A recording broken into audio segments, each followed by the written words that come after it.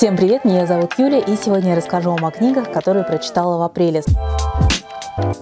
Сразу скажу, что этот отчет будет очень объемным и очень эмоциональным, потому что в апреле мне попадались как книги, которые 100% войдут в лучшее прочитанное за этот год, так и книги, которые заставляли меня во время прочтения буквально воспламеняться. И мне настолько не нравилось и настолько раздражало то, что я читаю, что приходилось делать даже перерывы, и о них мы тоже сегодня обязательно поговорим. Вас, конечно же, я приглашаю присоединяться к обсуждению в комментариях и писать свое мнение о книгах, про которые я буду рассказывать. Я же начну с с того, что э, обозначу первую часть прочитанного. Она была посвящена трем книгам, которые стали для меня самыми важными и самыми главными в апреле. Это, во-первых, Шишков «Угрюм река», и это произведение, которое настолько запало мне в сердце, что я, в принципе, хочу вернуться к прочтению русской классики. И если у вас есть советы, если вы хотите э, мое мнение услышать по поводу какого-то произведения, обязательно пишите мне в комментариях. Я постараюсь ко всему прислушаться. И в мае к этой теме обязательно вернусь. Дальше «Утопия авеню» от Дэвида Дэвида Митчелла, которая, в принципе, является для меня идеальным жанровым сочетанием вместе с автором произведения, потому что это история про рок-сцену 60-х, а, пусть и про придуманную группу, но она настолько здорово улавливает дух эпохи, что выбираться из этого мира и из этого произведения мне не хотелось. Плюс я то, что не сказала вам в прочитанном, у Дэвида Митчелла всегда есть совсем небольшая, вот буквально капелька мистики, которая только больше привлекает к его произведениям и делает их для меня еще более идеальными идеальными. И, наконец, моя абсолютная любовь – это «Приключения Шарпа», первые три романа из его юности, из начала его приключений и его карьерного пути. Это, конечно же, Бернард Корнуэлл. И здесь, и, да, я обещала вам не рассказывать сейчас и не останавливаться снова на этих книгах, но я хочу буквально пару слов сказать в защиту Бернарда Корнуэлла, потому что я уже успела увидеть пару негативных отзывов, которые строились на том, что писатель использует одну и ту же сюжетную схему, он просто меняет декорации, он просто меняет там возраст героев и то, что вокруг него происходит, и, мол, совершенно не стоит тратить на это время, но, во-первых, вся эта история называется авторским стилем, а во-вторых, вся фишка Бернарда Корнуэлла, большая часть очарования, в принципе, его э, произведений в том, как раз какие декорации, какой исторической эпохой сейчас он пытается нас заинтересовать.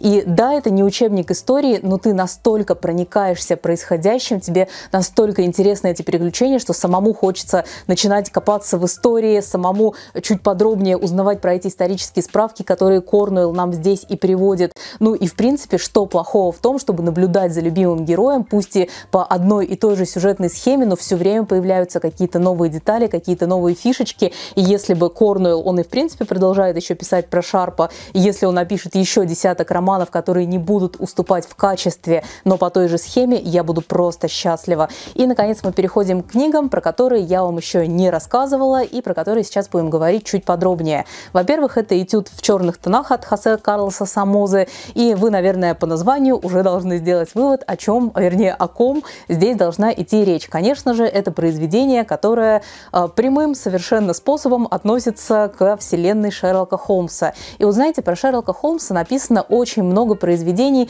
как-то дополняющих, расширяющих вселенную. Иногда это откровенный фанфикшн, который там совершенно не стоит внимания. Иногда это действительно действительно очень оригинальные и интересные произведения, которые, допустим, какое-нибудь определенное расследование рассказывают от лица, от лица, например, ну, Ирен Адлер. Вот такое читала в прошлом году, и тебе действительно хочется верить в них, тебе, ты понимаешь, что автор с пониманием, с уважением относится к детищу Конан Дойла.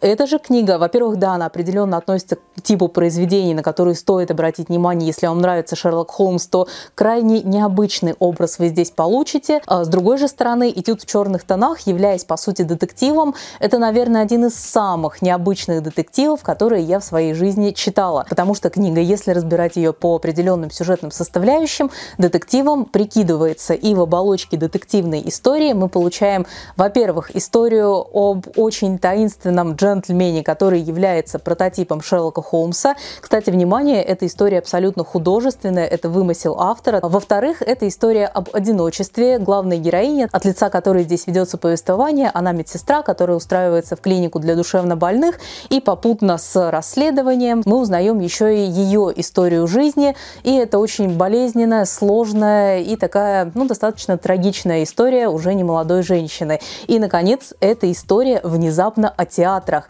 о театрах подпольных, которые существовали в XIX веке. И вот эта театральная часть, которая находит отражение даже в самой структуре книги. То есть начинается здесь все с того, что часть называется «Занавес поднимается». Здесь есть программки, прямо напечатанные на страницах. И вот даже если вы, в принципе, не слишком интересуетесь театром, но, как и я, а, здесь эта история не требует каких-то специальных знаний, и читать, в принципе, все равно интересно. Итак, о чем же сюжетная эта история? И я сразу скажу, что «Этюд в черных тонах» обманул мои ожидания, но обманул их в хорошем смысле. Я ожидала, что здесь будет история о том, как а, молодой Конан Дойл познакомился с прототипом Шерлока Холмса, и они вместе расследовали, ну даже не важно, что расследовали, и это, в принципе, все выливается в итоге в серию романов. Но по итогу мы получаем, как я вам уже сказала, такую трехсоставную книгу. Итак, здесь медсестра, которую зовут Энн, а, устраивается на работу в клинику для душевнобольных. Так сообщалось в аннотации, но по итогу оказалось, что это, а, что никто эту клинику именно там специальным заведением для психов не называет, потому что это учреждение предназначенное для очень богатых клиентов. То есть там джентльмены, которые пусть и не в разуме, пусть и с какими-то отклонениями, личные сиделки, и в принципе это такое, знаете, здание за высокими заборами. И вот как раз там есть очень-очень необычный пациент, который э, как будто боится солнечного света, то есть он постоянно сидит в четырех стенах в своей темнице, э, он играет на какой-то воображаемой скрипке, он просит называть себя мистером X, и при этом главное его хобби и главное его вот эта страсть такая, ну действительно похожая на душевно больную какую-то одержимость, это страсть к расследованиям. Расследование он может с невероятной проницательностью проводить прямо сидя в комнате. Но по сюжету так получается, что Конан Дойл здесь, будучи молодым врачом, сталкивается с этим пациентом, и они вместе начинают расследовать убийство нищих на улицах э, вокруг этой лечебницы. Э, она здесь называется не лечебницей, а пансионатом, ну, что, в принципе, сути не меняет. Что самое интересное, изначально детектив не представлял для меня, э, во-первых, какой-то большой там загадки и большого интереса, потому что, ну, какие-то нищие, ты концентрируешься именно на персонажах.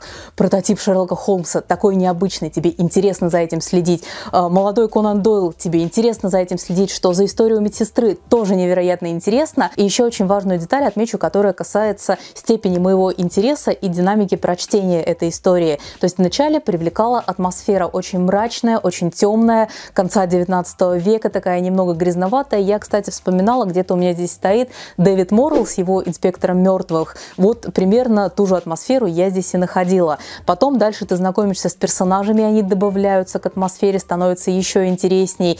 И нельзя сказать, что книга читается супер динамично, и ты прям вот не можешь э, перевести дыхание от событий, которые здесь происходят, но она тебя постепенно затягивает. И вот когда Самоза уже умело завладела нашим вниманием, начинается вот этот вау-эффект на последние сотни страниц. В общем, я довольна, совершенно не ожидала, что книга мне настолько понравится. При этом я буду ее советовать тем, кто хочет получить необычный образ прототипа Шерлока Холмса без упора на историю, без упора на достоверность. Ну и плюс, если вы любите театр и хотите еще э, узнать о каких-то подпольных, странных и жестоких действиях с этим связанных, тоже могу посоветовать. Ну еще, если вы любите э, истории из конца 19 века, мрачненькие, тоже обратите внимание. Я же э, посмотрю еще, что у автора выходило. Если есть что-то похожее, хотя бы по атмосфере или там времени действия, то я обязательно обращу свое внимание. Дальше, в апреле я читала комиксы в количестве трех штук, что по моим меркам немало. Во-первых, это были «Чародейки», такое путешествие по волнам ностальгии, и отзыв можно найти вот здесь.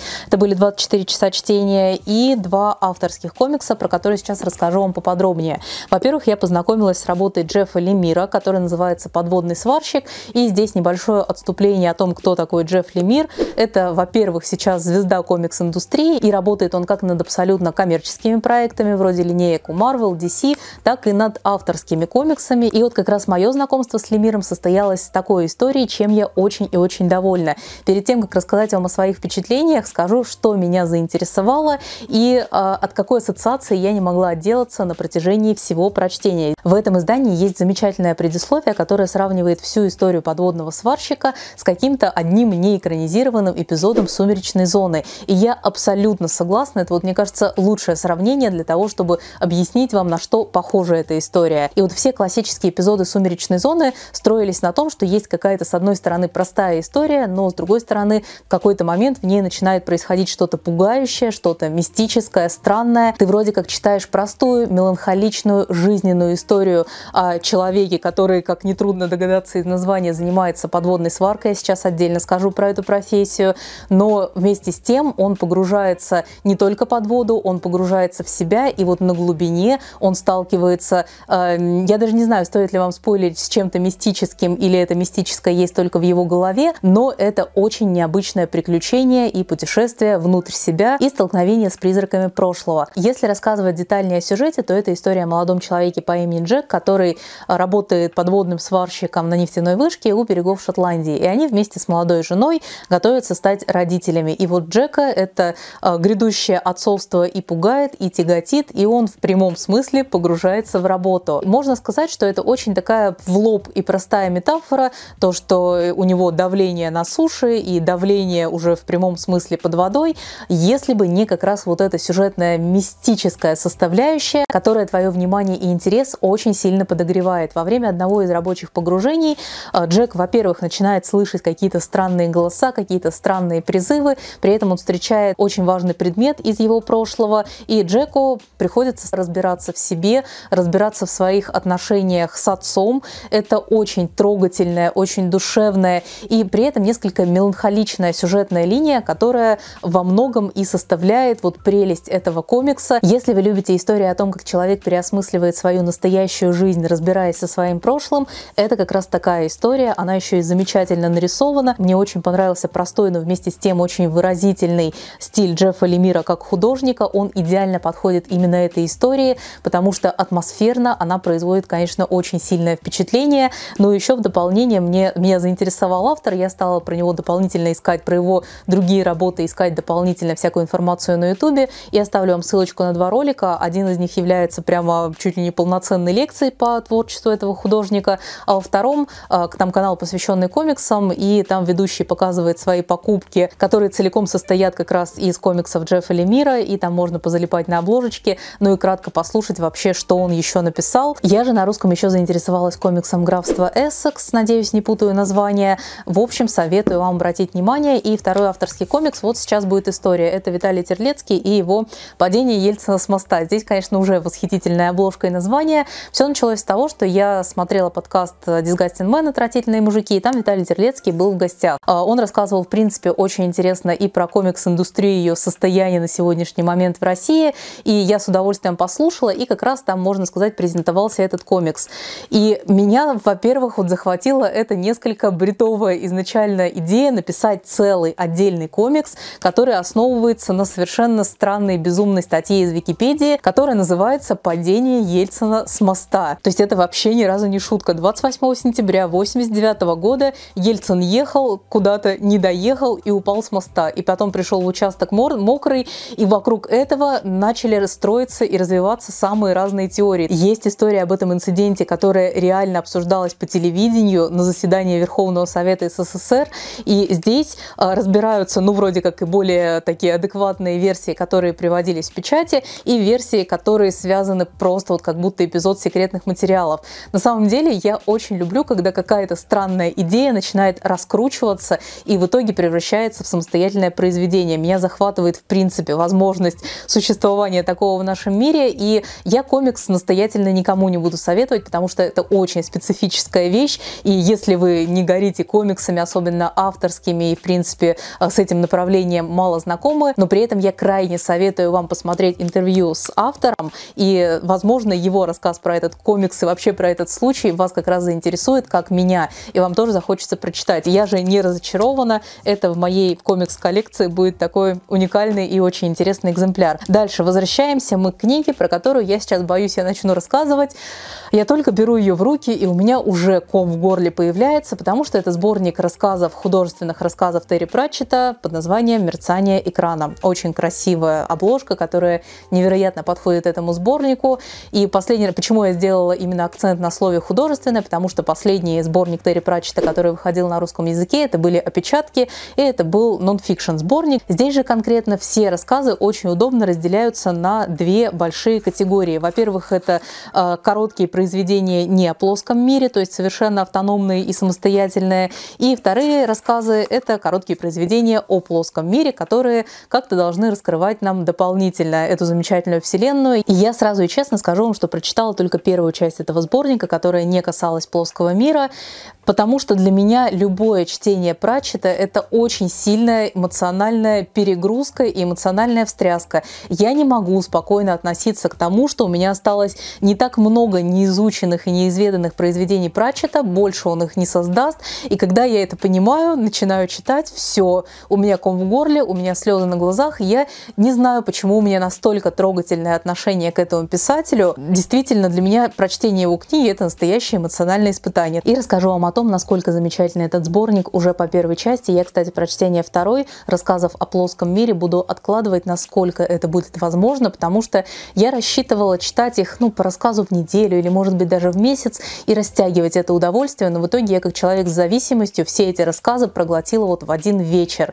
И они настолько яркие, настолько классные, что оставляют очень сильное впечатление. И я, наверное, начну с того, что выделю три главных для себя рассказа. Первый из них называется «Предприятие Аида», и он был официально опубликован в 1963 году, но на самом деле Терри Пратчет написал его в 13 лет. То есть это очень раннее произведение, но оно настолько классное, оно уже обладает потрясающим финалом и такое очень грамотное и взрослое по структуре и, в принципе, по посылу. То есть ты понимаешь, что Терри Пратчет с самых юных лет уже обладал вот этим особенным взглядом на наш мир, уже очень четко подмечал какие-то особенности и мог отразить их в фэнтези реальности. Мне, кстати, очень понравилось, как про Пратчета сказала Антония Байет. Она говорила о том, что Терри Пратчет – это человек, который великолепно разбирается и в банках, и в служащих, и в менеджменте, и в налогах, но при этом он не менее круто разбирается и в драконах, и в ведьмах, и в троллях, и в гоблинах. То есть это человек, во-первых, автор с большой буквы, но во-вторых, который может подметить какую-то проблему в нашем мире и очень тонко, саркастично преобразить ее в фэнтези-реальность и создать какое-то уникальное произведение, пусть короткое, пусть там на десяток страниц, но оно будет полным, законченным. И я никогда не воспринимала Терри Пратчета как какого-то великого мастера малой прозы, рассказов, но читая это, я не могла оторваться, и я поражалась, насколько уже будучи хорошо знакомой с писателем, я могу открывать для себя какие-то новые его стороны. И так я снова отвлеклась на свою великую любовь к Пратчету и сбилась с основного рассказа. И очень кратко, буквально в двух словах, расскажу вам о произведениях, которые меня больше всего впечатлили, хотя, повторюсь, понравилось абсолютно все. Первый из них называется «Предприятие Аида». Это рассказ, который повествует о том, как решили пропиарить ад, создать ему настоящую рекламную кампанию. Второй крайне понравившийся мне рассказ называется «Дышите коротко и экономно». И это такое, знаете, очень пугающее будущее, где воздух является настолько ценным ресурсом, что люди буквально дышат и потребляют его по графику. А, и, наконец, третий рассказ, который, название которого длинное и я не могу запомнить. «Хуже дурака, только старый дурак, стоящий в английской очереди». Потрясающая сатира на наше общество и, в принципе, на ту ситуацию, что в любой длинной очереди находится человек, который обязательно тупит, там какие-нибудь монетки считает, э, чувствует, как будто у него все время мира за плечами, он может вести светские беседы э, с тем, кто отпускает эту очередь. Потрясающий рассказ, который найдет отклик, я уверена, абсолютно у каждого. И я еще специально для видео узнала мнение у своей подруги, которая прочитала его целиком. Э, можно ли читать рассказы о плоском мире для тем, кто не знаком с этой вселенной? И она сказала, да, рассказы читаются тоже автономно, но при этом, если вы знакомы с плоским миром, вы будете встречать там какие-то отсылочки, может, знакомых персонажей, но целиком этот сборник можно читать абсолютно не зная ничего про Терри Пратчетта. И этим, мне кажется, он тоже очень и очень ценен. Дальше, Роберт Хайнлайн. Я наконец-то прочитала «Туннель в небе» и «Есть скафандр, готов путешествовать».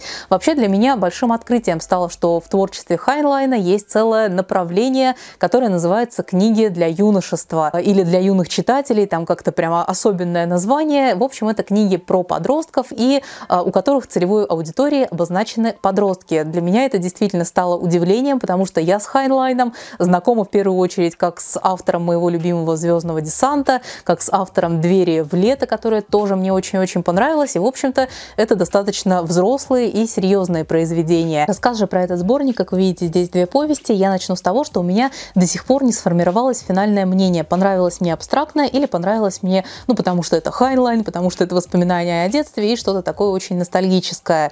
И дочитав, я пыталась проанализировать и пришла к выводу, что самая большая проблема, которую я вижу э, в творчестве Хайнлайна конкретно здесь, я не понимаю, кому сейчас, вот на сегодняшний день, на 21 год, э, кто является целевой аудиторией, потому что, мне кажется, в качестве young adult а это вообще не зайдет. Здесь подростки, хоть и являясь главными героями и центральными персонажами, очень плотно вписаны в контекст именно политический и социальный того времени. И да, Хайнлайн славится именно своей социальной фантастикой, социальной подоплекой и выводами, которые он встраивает в свои произведения. Но вот даже какие-то, может, устаревшие темы во взрослой фантастике смотрятся более актуально. Но когда это абсолютное приключалово, я сейчас расскажу вам хотя бы завязки сюжетов, когда это абсолютно приключения, рассчитанные на подростков, а ты наблюдаешь, как дети там пытаются э, писать конституцию или создают свое небольшое государство и начинают строить иерархию, и причем во время прочтения ты чувствуешь, что это очень несовременно, что это именно фантастика середины 20 века. То есть подросткам я бы точно это не могла рекомендовать для взрослых. Здесь вот основная сюжетная завязка э, и, в принципе, герои, ну, слишком, мне кажется, простенькими. В итоге же, если поностальгировать, если почувствовать себя снова там 15-летним, 16-летним, и если вы в юности читали Хайнлайна, ну вот как я, возможно, вам также зайдет. Просто делаю упор на то и предупреждаю вас, что я сейчас буду говорить восторженно, но вы имеете в виду, что это абсолютный продукт своего времени. Если «Звездный десант», я, кстати, боюсь его перечитывать, но, насколько помню, читался очень хорошо и сейчас, и на сегодняшний день, то эти произведения абсолютно вот остались в 50-х. Итак, чуть конкретнее о сюжетах. «Туннели в небе» — это рассказ о том, как в будущем появляется технология с Земли попасть абсолютно в любую точку галактики с помощью туннеля в небе. И перед тем, как начать использовать технологию, и перед тем, как э, стать какими-то крутыми космическими первооткрывателями, школьники, подростки должны обязательно проходить некие этапы э, обучения, и обязательной ступенью является экзамен, когда их забрасывают на какую-то неколонизированную планету, здесь, на которую они попадают, ну, по атмосфере примерно напоминает, наверное, нашу Африку. И должны там поодиночке выживать в течение определенного количества времени, совершенно небольшого. Но, как вы понимаете, все идет не по плану, и этот экзамен растягивается на довольно большое количество лет. И подростки, изначально находясь поодиночке в этих условиях, сначала сбиваются в группу, но потом уже основывают настоящее поселение и начинают его развивать. И вот здесь Хайнлайн углубляется реально в социальную подоплеку, в социальную структуру, то есть там начинаются деления на уровне старшие, младшие, там чуть ли не на сословие, плюс они пытаются написать конституцию, и вот это э, даже не наивность, но вот это очень подростковая составляющая, когда им нужно выживать, думать там о еде, как прокормиться и как выжить, а они пишут себе законы. Может, с одной стороны, это и правильно, но это такая очень тема шатенькая и интересная, мне кажется, именно для обсуждения. С другой стороны, мне нравился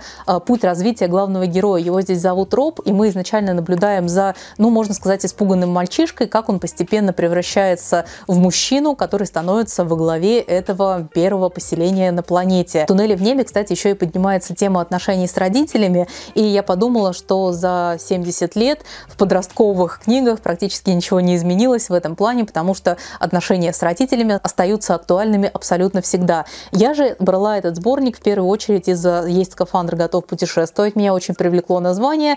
И здесь снова мы наблюдаем за подростком, но при этом Хайнлайн совершенно фантастически вписывает в сюжет ту тему, что мечты может задавить капиталистический мир. Здесь по сюжету подросток мечтает о том, что он отправится на Луну, конкретно там на базу людей на Луне, у него будет космическое путешествие, приключения, и для этого ему нужен скафандр. И вот этот скафандр он может выиграть э, в конкурсе, который устраивает мыловаренная компания, он очень много усилий прилагает, и он получает этот самый скафандр, только скафандр оказывается списанным, потрепанным, старым, ну и практически бездейственным. В целом, обобщая свои эмоции от сборника, может там в течение пары месяцев они у меня немножечко придут к какому-то равновесию, и я вам в конце лета буду делать какую-то подборку с фантастикой и поконкретнее расскажу, но сейчас не знаю, кому посоветовать, не знаю, кому это может понравиться. Если же хотите познакомиться с Робертом Хайнлайном как с автором взрослой классной фантастики, пусть и может быть несколько наивной и устаревшей, а, это будет в моих рекомендациях либо «Звездный десант», либо «Дверь в лето», которую я, кстати, не очень давно читала, либо что у меня тут на полочке с фантастикой стоит. Вот еще, кстати, очень классная повесть. У него неприятная профессия Джонатана Хога, который тоже меня меня в свое время очень порадовала. Кстати, еще потрясающая история о том, как я вообще взялась за эту книгу, потому что она у меня э, на полочке с непрочитанным стояла, наверное, с середины осени. Я все откладывала, откладывала, как-то у меня к фантастике, особенно того времени, не было особого желания возвращаться. И тут я дочитала «Угрюм реку» и такая, ну все, хочу классику хотя бы чего-то читать, хочу э, вот что-то несовременное. Посмотрела, и у меня из непрочитанной классики был единственный Хайнлайн. Очень он слабо коррелируется с тем, что я хотела. А вот дальше я беру в руки «Короля шрамов» Ли Бардуго, и мне кажется, я сейчас, рассказывая про эту книгу, просто улечу на своих горящих эмоциях в космос. Настолько мне не нравилось то, что я получала. Причем сейчас я постараюсь как-то упорядочить свои мысли, но у меня не получается, настолько зла на эту книгу. Кратко про Ли Бардуга. А, начинаете с трилогии про Равку, первая книга «Тень и кость», продолжаете дилогии «Шестерка воронов», и только потом читаете «Короля шрамов», иначе а, вы вообще не будете понимать, что здесь происходит. Книга позиционируется как отдельное такое автономное произведение, вернее, это первая часть дилогии, но это вообще не так. Если трилогию можно читать отдельно, если «Шестерку воронов» можно читать отдельно, нет, эту книгу нужно читать только уже а, после полного знакомства с историей персонажей, иначе кто такой Николай, а, почему он находится на том месте, на котором мы его здесь встречаем, что вообще за король шрамов, вы вообще не будете понимать, в чем дело. После написания этой книги либо Ардуга можно сразу открывать свой мастер-класс, как написать 600 страниц, и в них не рассказать вообще ничего. Эта книга один какой-то огромный, бесконечный, невероятно скучный пролог к тому, что будет происходить в правлении волков во второй части, которой на русском еще нет. И единственное вот оправдание, которое я сейчас могу придумать, может, если читать эту дилогию сразу, то есть вот первую часть и правление волков в целом, не знаю, там на 1200 страниц, может тогда, а, получив какие-то дополнительные повороты сюжета, получив какое-то завершение сюжета, может, я бы не так сильно горела, но здесь из всей, понимаете, больше, чем 600 страниц, я единственная полезная информация, которая хоть как-то была интересна, касалась она того, почему грешей, людей, которые взаимодействуют с магией этого мира, почему их так называют. Все. Самая главная претензия, которая касается моих невероятно обманутых ожиданий, это того, что я ждала книгу, посвященную целиком моему любимому персонажу Николаю Ланцову. Он появляется во второй части, во второй книге из трилогии «Тени кость», и я прекрасно понимала, что мы здесь уже никак не можем встретить приключений вот этих залихватских, пиратских, но то, что он здесь будет вообще где-то на вторых ролях, это ни в какие ворота не вписывается. Вот представьте, что вы читаете «Игру престолов», закончили цикл, очень бы хотелось, а, и вам пообещали отдельно книгу там или дилогию про Тириана. И вы берете ее в руки и понимаете, что на самом деле это больше история про Брана, про Сансу, там может про Арию. И Тирион, как обещали, опять не на главных ролях, и он просто, ну просто как участник событий. Сумбурно, много всего происходит, но при этом пустота. То есть ты читаешь и как будто вот так водичку из стакана в стакан переливаешь, и меня больше всего поражает объем, как вот это ничего можно растянуть вот настолько. И я понимаю, что либо Ардуга для меня это настолько неравномерный автор. То есть «Шестерка воронов» была скучной, а трилогия про Равку мне понравилась, и меня хоть там где-то и бомбило, и кто-то меня там возмущал, но при этом это было такое чтение с эмоциональной отдачей. Здесь же а, эмоциональная отдача заключалась в том, что я подруге писала гневные сообщения, это что такое, это что я сейчас читаю, читаю, а дальше там будет интересно или нет, и она мне отправляла смеющиеся смайлики, нет, можешь даже не надеяться. И вот эта книга, являясь, естественно, абсолютно проходной, совершенно бесполезная для вселенной Ли Бардуга. И, может быть, так сильно бы я не возмущалась, если бы Николай, пусть и не занимая большую часть сюжета, оставался бы самим собой. Здесь же ощущение, что он какой-то униженный и оскорбленный. За него все решают, он не может принимать э, никакие самостоятельные действия предпринимать. И когда я закрыла книгу, вот здесь от одной рецензии, я вам сейчас ее даже зачитаю на обложке, ну все, у меня просто чуть мозг не взорвался. Эпическая фэнтези Бардуга заметно выделяется отличается особым уровнем исторической и эмоциональной проработанности. Слово «исторической» я даже разбирать не буду. Эмоциональной, но вот только что эмоции горящие я могу испытывать. Не знаю, если вы читали «Короля шрамов» и вам понравилось, Напишите мне, пожалуйста, об этом спокойно, за что вы полюбили эту книгу. Возможно, я хотя бы чуть-чуть притушу свой пожар по отношению к этому автору. «Правление волков» я не знаю. Мне вот еще одна моя подруга уже рассказала, чем там закончится. Если я и буду читать, то только чтобы вот просто снять какой-то разгромный обзор на целиком эту дилогию. И мне даже не верится, что мне трилогия «Тень и кость» понравилась, и до сих пор... Э, я, кстати, про сериал вам вот думаю, в каком формате еще отзыв свой записать, потому что мне осталось там две серии, и пока эмоции такие очень смешанные. Есть то, что прям очень нравится, ну а есть то, что связано как раз с «Шестеркой воронов», прямо вообще нет. Дальше книги, которые я дочитывала и про которые вам уже где-то как-то рассказывала, и сейчас сделаю такое краткое резюмирующее мнение. Во-первых, Soul Be Written про э, фронтмена Металлики Джеймса Хэтфилда. После прочтения этой книги, во-первых, у меня создается впечатление, что каждый уважающий себя фанат группы Металлика задается целью написать свою биографию этой группы, а во-вторых, что после прочтения уже третьей книги про Металлику, где одни, в принципе, и те же факты просто в разной, в разной немножечко форме рассказываются, я уже могу давать лекции про то, как зародилась, про то, как развивалась, какие альбомы им самим нравятся, какими, какими они гордятся, что вообще, в принципе, с группой происходило на протяжении трех десятилетий. Когда же я брала в руки книгу с лицом Хэтфилда на обложке, когда второй частью названия значится подлинная биография Джеймса Хэтфилда, я ожидала получить историю именно его биографию, сосредоточенную на его личности. А, она же по итогу плавно перетекает, да, начинается все с него, но в итоге это все равно краткая биография просто металлики. Опять здесь насыпали шпилек в сторону моего любимого Мастейна, возможно, вполне заслуженно. Здесь рассказывается, а, ну, понятно, и по ходу прочтения ты про него какие-то факты снова одни и те же узнаешь, и в конце про конкретное выступление, и что он там в интервью сказал. И вот для того, чтобы эта книга являлась хорошей биографией группы, ей явно не хватает объема и детальности. Для того, чтобы эта книга являлась биографией одного конкретного человека, но она просто ей не является. И для меня, в принципе, все музыкальные биографии — это мой любимый жанр и очень близкий мне жанр, делится на две категории. Во-первых, это книги, которые пишет сам человек, пишет очень откровенно, очень правдиво, и они э, при этом рассчитаны на самый широкий круг аудитории. Ну, допустим, как «Я Оззи» от Оззи Осборна. Все, что мне удалось вспомнить, понравится, мне кажется, абсолютно любому. Либо же это биографии узкоспециализированные, где будет куча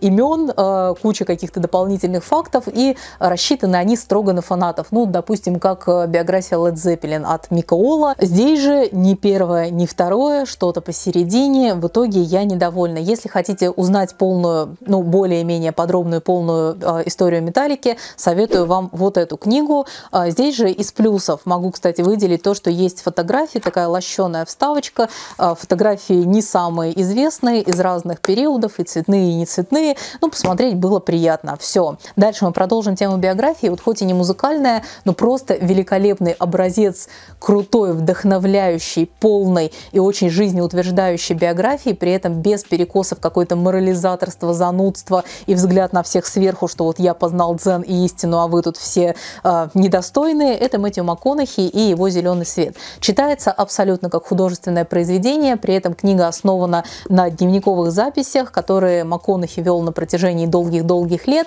и книга является, с одной стороны, историей жизни, с другой стороны, историей пути к себе, познания к себя, принятия не каких-то философских принципов, очень мягко, очень направляющая, очень приятно, по-хорошему жизнеутверждающая. И это книга, которая действительно вот дает тебе прилив энергии и буквально расправляет крылья. Я читала ее на 24 часах чтения, и потом вот неделю еще ходила под впечатлением, настолько мне это понравилось. Она, э, еще раз повторю, на русском еще и очень круто издана. Здесь есть э, текст, как написанный э, рукой Мэтью МакКонахи, также он и продублирован на русский, то есть есть и перевод, и вы можете посмотреть, как это написал сам актер. И, в принципе, все вот это издание читается, ну, действительно, как такой очень хорошо упорядоченный дневник с выделенными мыслями, со списками, с записками, заметками э, и с фотографиями. Просто супер, очень довольна. Дальше для полноты отчета с прочитанным за этот месяц поделюсь с вами уже подостывшими более уравновешенными эмоциями от книг, которые уже успела дочитать. Во-первых, это вторая часть Шолоха от Антонины Крейн, читала в дороге. И вот, э, наверное, начну с того, что первая часть Шолоха, в принципе, читается довольно закончена. То есть там заканчивается сюжетная арка с поимкой маньяка и вот с этой детективной линией, ну и, естественно, финал, намекающий на продолжение. Вторая же книга начинается уже практически с того же самого момента, там проходит буквально неделя между первой и второй книгой, но вторую книгу нужно читать обязательно после первой, иначе вы очень многое понимать не будете. Мне очень понравилось, как здесь раскрывается с другой стороны главный, вернее, с новой стороны главный злодей первой книги. Это один из моих самых любимых персонажей. И я очень боялась, что в этой истории мы будем встречать только его него какие-то упоминания, что вот его там в темницу заключили и все. Но нет, его история продолжается, и пусть не на главных и первых ролях, но его на страницах я продолжаю встречать и продолжаю радоваться по этому поводу. Сам же Шолох, столица Лесного Королевства, остается для меня невероятно притягательным местом, полным магии, очень красивым. И я, кстати, еще а, успела заметить, насколько я привязалась именно к месту, к Шолоху, к этому городу, потому что первая книга начинается с того, что главную героиню закинула в другую часть э, этой вселенной, и мне все время хотелось, чтобы вот, ну, скорее, ну, пожалуйста, ну, вернись домой, мне интересно наблюдать э, все эти экзотические антуражи и новые декорации, но при этом очень хочется снова вот этого лесного королевства, вот этой магии, вот этой обстановки, знакомой локации, настолько мне это нравилось. Следующая книга — это «Убийство во времени» Джули МакЭлвин. Как я вам расхваливала эту историю и говорила, что это очень неглупое э, произведение про попаданку, так я и продолжаю настаивать на том, что это максимально, насколько может быть фантастика достоверной, настолько это читается очень логично. Здесь девушка из нашего мира, которая является агентом ФБР, попадает в прошлое э, и начинает там в меру своих возможностей применять свои способности детектива, ну и постепенно углубляется в это самое время, здесь 19 век. И очень классно рассказывается, как она именно принимала вот этот факт перемещения во времени. То есть она не начала, как многие попаданки, там, диктовать свои правила или, не знаю, ужасаться и верните меня домой. Именно классно и достоверно описывалась вот эта психология. Сначала шока, отторжения, непринятия, потом постепенного очень а, подстраивания под новые реалии. Нравилась крайне, героиня супер приятная, нравилась романтическая линия, не какая-то а, наигранная, глупая и сразу появляющаяся. Кстати, обложка у русскоязычного издания хоть и стильная, но в зарубежном варианте, вот если бы я увидела эту книгу и ничего про нее не знала, сразу бы схватила, потому что она мне обещает и мистику, и детективное что-то, еще и перемещение во времени просто прекрасно. Дальше, Ковен озеро Шамплейн. Обязательно буду продолжать знакомство с этой серией. Я у редактора недавно в Инстаграм видела кусочки обложки, которая только готовится, и, в принципе, понимаю, в какой цветовой гамме она будет, что снова будет сохраняться вот этот стиль. И вот Ковен озеро Шамплейн, как ни странно, пополнил для меня список произведений про ведьм, которые мне реально понравились. Я постоянно вам говорю, что э, про ведьм истории это не ко мне, мне очень редко какие нравятся, это либо должно быть что-то с юмором, это должны быть какие-то очень специфичные образы, потому что все эти обряды, ритуалы это не для меня. Здесь же все в принципе по канону, но при этом история цепляет, потому что в первую очередь эта история не о каких-то кровавых ритуалах, это история о человеческих отношениях. Здесь у главной героини перебили весь ее ковен, и при этом она преследуема своим одержимым братом. Конечно же, история не в последнюю очередь понравилась мне из-за замечательного Коула Гастингса, детектива, который по а, первым заявлениям страдает аутизмом, но при этом у него очень необычные способности, как раз и базирующиеся на этом отклонении. Если вам не нравятся книги про какие-то психологические отклонения, то советую все равно обратить внимание, потому что здесь эта тема раскрывается совсем по-другому. Дальше «Лабрис» Глеба Кощеева. Ходила на презентацию этой книги, с удовольствием еще раз от самого автора послушала а, про историю написания этого произведения, какие здесь отсылочки, на чем основывается здесь, в принципе, локация. И я люблю такие подростковые, с одной стороны, истории, но при этом довольно тонко психологичные, и вместе с тем истории, которые мистическую линию превращают в настоящее путешествие к самому себе. И, наконец, в апреле такой вишенкой на торте я прочитала вторую часть э, трилогии «Дети Великого шторма» от Натальи Асаяну. Э, вы дружно все голосовали за то, чтобы был полный обзор на эту трилогию. Я обязательно ее дочитываю и такое снимаю, потому что мне в первую очередь хочется обсуждать эти книги. А, здесь не все идеально для меня, как оказалось, несмотря на пиратскую, морскую и очень близкую мне тему, что-то нравится, что-то вызывает восторг, но при этом есть и некоторые, ну даже не провисающие, некоторые скучноватые для меня части, которые при этом я прекрасно понимаю, кого-то наоборот привлекут, и вот как раз все эти детали мне хочется, захочется в своем обзоре разобрать. Я, конечно же, жду ваше мнение о книгах в комментариях, ну а мы с вами увидимся совсем скоро. Пока!